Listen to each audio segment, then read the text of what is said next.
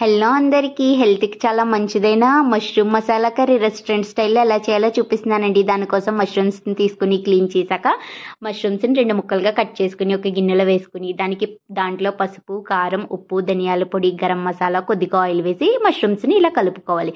కలిపిన తర్వాత ప్యాన్ పెట్టుకుని కొద్దిగా ఆయిల్ వేసుకుని మనం ఆల్రెడీ మిక్స్ మసాలా పట్టించిన మష్రూమ్స్ని లైట్గా ఫ్రై చేయాలండి.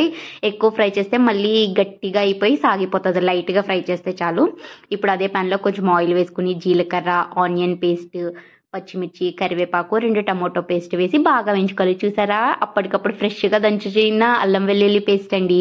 ఆ అల్లం వెల్లుల్లి పేస్ట్ కూడా వేసి పచ్చివాసన పోయేదాకా వేయించుకోవాలి. అవి వేగాక మనం ఆల్రెడీ ఫ్రై చేసి పెట్టుకున్న మష్రూమ్స్ని కూడా వేసి మిక్స్ చేసుకోవాలి. ఇవి కొంచెం వేగిన తర్వాత వాటర్ వేయాలి.